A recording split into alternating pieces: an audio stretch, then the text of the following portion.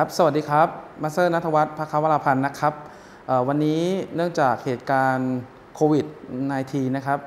เราก็เลยจะมีการจัดทำเป็นสื่อออนไลน์นะครับ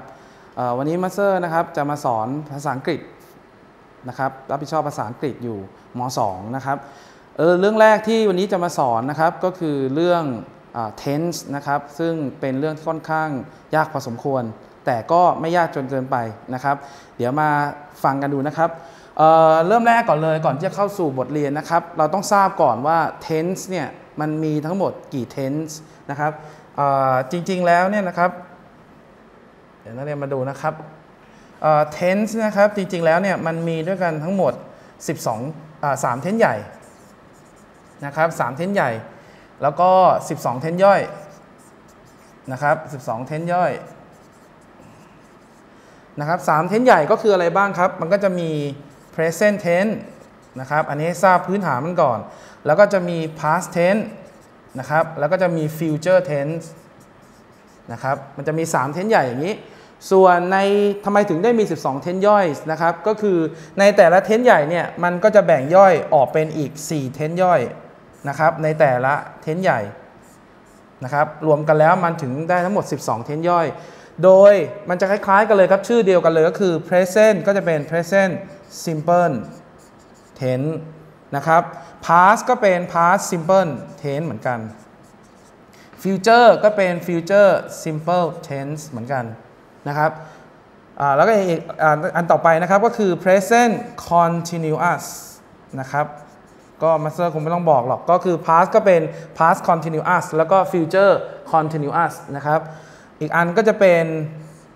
present perfect นะครับ present perfect นะครับ ส่วน past ก็จะเป็น past perfect แล้วก็ future perfect แล้วการสุดท้ายของทั้งหมดนะครับ ก็จะเป็นเขาจะเรียกว่า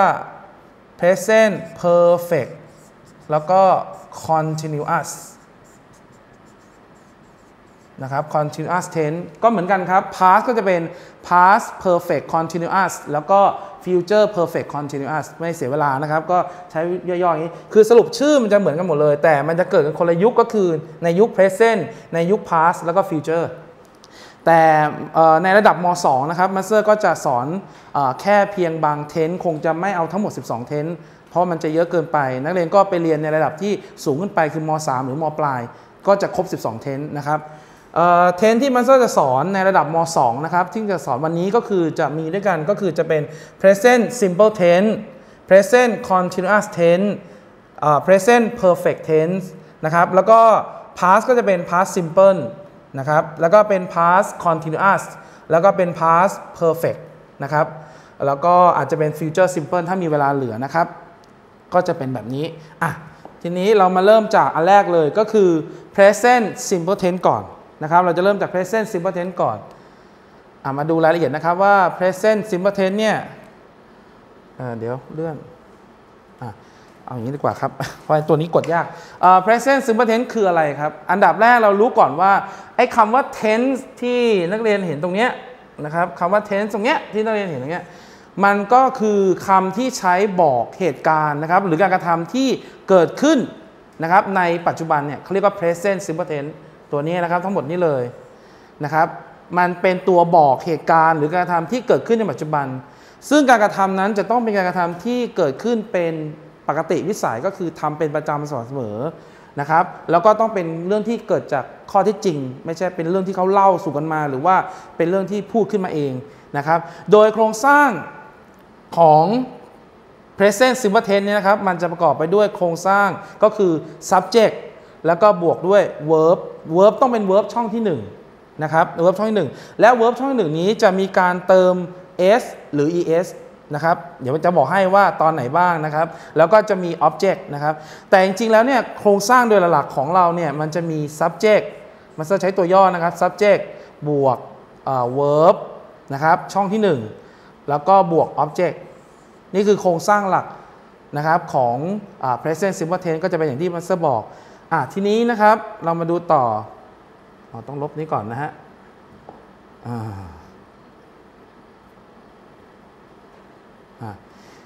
ทีนี้เรามาดูก่อนว่าสิ่งที่นักเรียนต้องรู้เบื้องต้นก็คือไอ้คำกริยาที่เมื่อกี้มาสเตอร์บอกว่าเป็น verb ช่องหนึ่งเนี่ยที่มาสเตอร์บอกว่าเป็น verb ช่องหนึ่งเนี่ยนะตัวนี้นะกริยาแท้นี้นะที่เป็น verb ช่องหนึ่งเนี่ยนะครับ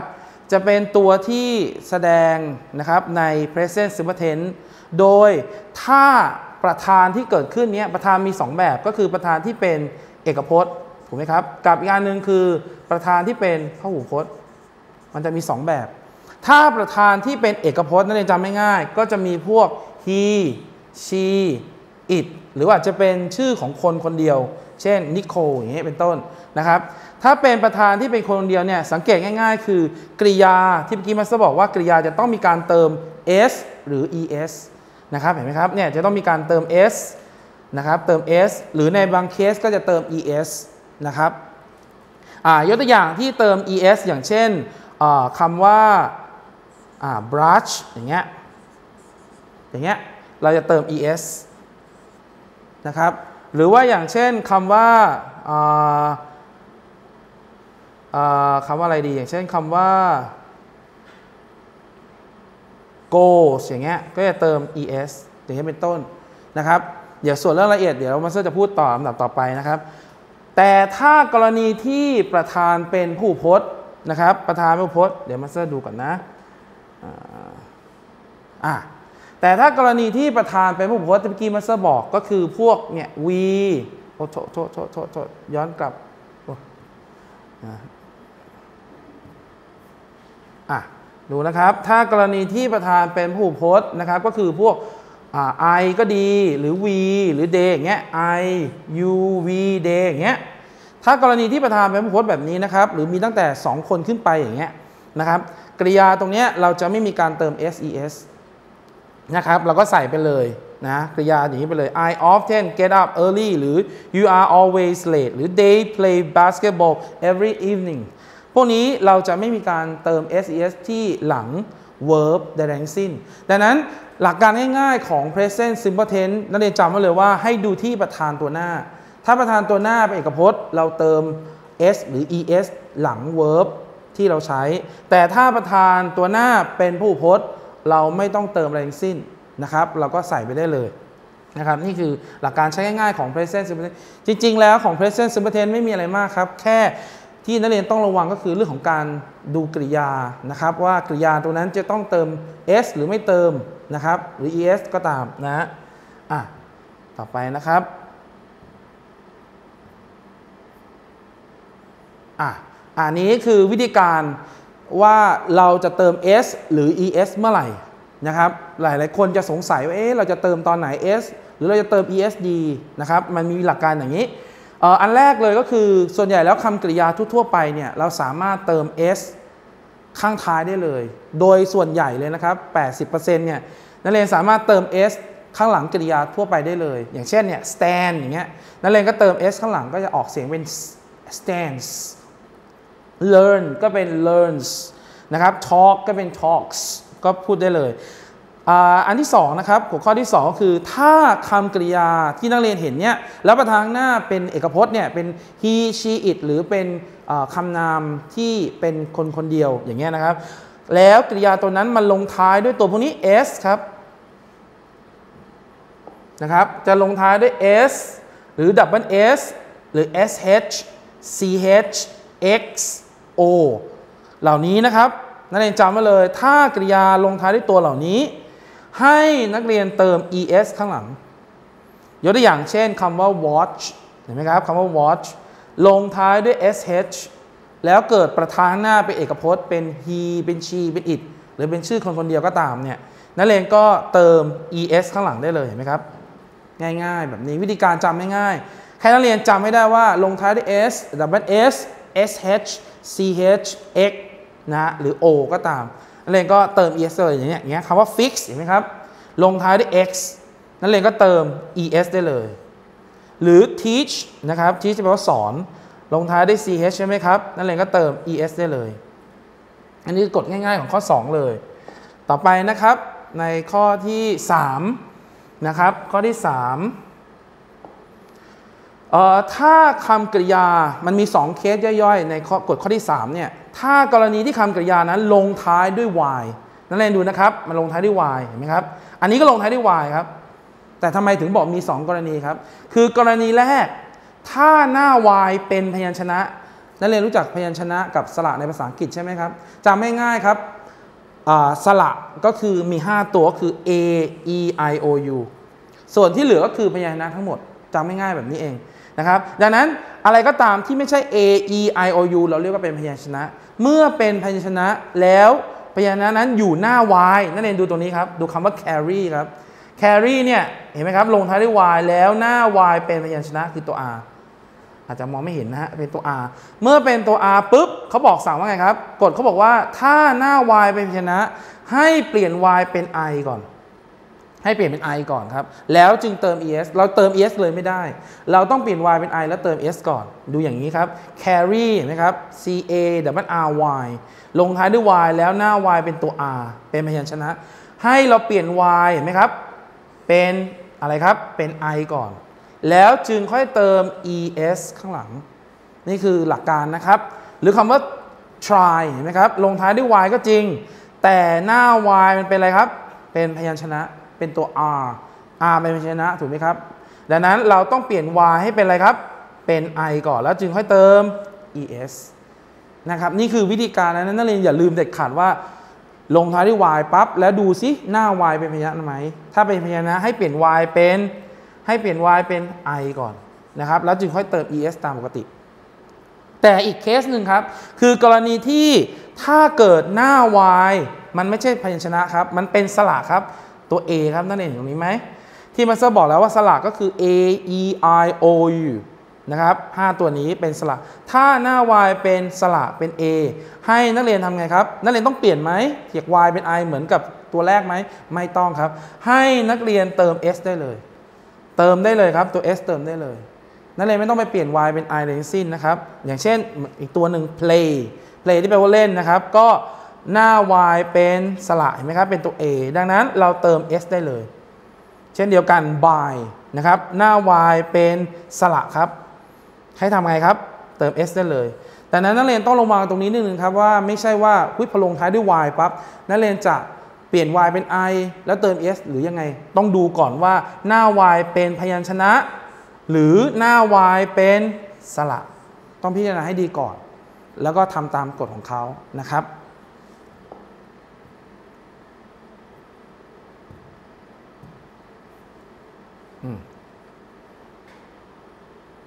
อะ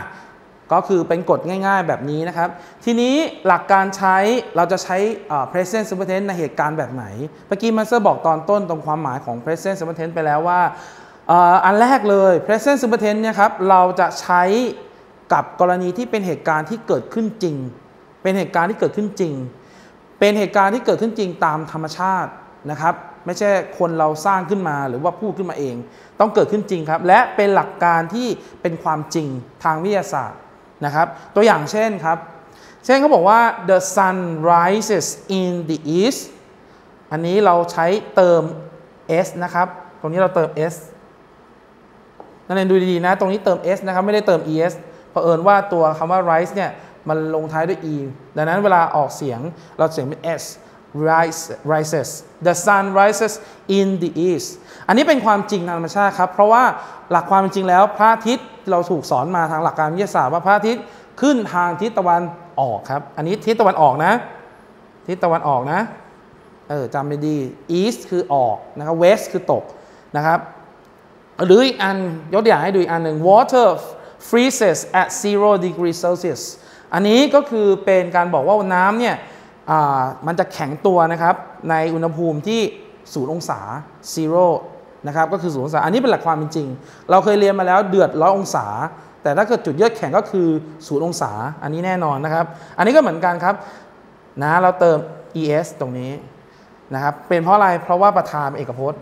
เห็นไหมครับเป็นเพราะประธานเอกพจน์ เราเติม s หรือ es ตามกฎที่เมื่อกี้มาสเตอร์บอก อันนี้คืออันแรก ที่เราจะใช้กับ present simple tense ก็คือ ใช้กรณีที่เป็นความจริงทางธรรมชาติ หรือเป็นหลักการทางวิทยาศาสตร์นะครับ ซึ่งเราไม่สามารถเปลี่ยนแปลงได้อะต่อไปครับอันที่สองครับ อันที่สองก็คือเราจะใช้ present simple tense กับเหตุการณ์ที่เกิดขึ้นเป็นประจำสม่ำเสมอทำจนเป็นนิสัยนะครับทำจนเป็นนิสัยทำซ้ำๆอยู่อย่างนั้นตลอดนะครับ ซึ่งมันจะมักมีคำบอกความถี่ครับ มันจะมีตัวบอกความถี่นะครับที่เราเรียกว่า adverb of frequency ตัวนี้ครับ adverb of frequency ตัวนี้ครับ เช่น พวกเนี้ย ถ้ามีคำตรงเนี้ย always usually often sometimes never หรือ every แล้วตามด้วยวันเดือนปีต่างๆนะครับ ตัวเหล่านี้มันจะเป็นตัวช่วยทำให้เราทราบว่านี่คือ present simple tense นะครับ ยกตัวอย่างเช่น Jane brushes her teeth uh, often ตัวนี้มาสเตอร์น่าจะเขียนผิดต้องเป็นตัว O นะลูก ตัว O often อ๋อโทษ อันนี้มาสเตอร์น่าจะเป็น Jane brushes her teeth after meal น่าจะน่าจะสะกดผิด น่าเป็นตัว R น่าจะไปพิมพ์เป็นตัว N นะครับ after meals ก็คือเจนเนี่ยจะครับจะมีการแปลงฟันหลังจากที่ทานมื้ออาหารนะก็คือเมื่อไรก็ตามที่เจนเนี่ยทานอาหารเสร็จปุ๊บเขาจะต้องเป็นแปลงฟันตลอด นี่คือทำเป็นนิสัยทำจน เป็นประจำสม่ำเสมอนะครับนะก็จะเป็นลักษณะนี้ หรือถ้านักเรียนจะใส่ตัวที่บอกบอกอความเป็นเขาเรียกว่า adverb of frequency ก็คือนักเรียนก็ใส่คำว่า always ส่วนนี้ลงไปก็ได้นะครับเวลาเราใส่เราจะใส่ไว้หน้ากริยาแท้หลังกริยาช่วยหลัง is am are แต่อยู่หน้ากริยาแท้ ก็จะเป็น Jane always brushes her teeth after meals นะครับก็จะเป็นอย่างนี้ ถ้าได้ตัวนี้มาช่วยก็ง่ายหน่อย ก็คือสามารถบอกเลยว่านี่คือ present simple tense นะครับต่อไปนะครับ อันที่ 3 ครับ